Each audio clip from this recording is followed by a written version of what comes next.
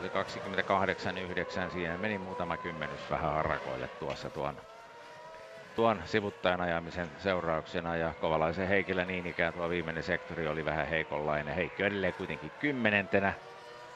Ja mikä nyt sitten vähän vaikeuttaa noita hyvien aikojen ajamista, kun neljä minuuttia aikaa on jäljellä, on se, että, että tuota, viittä kuljettajaa lukuun ottamatta kaikki muut kiertävät tällä hetkellä rataa.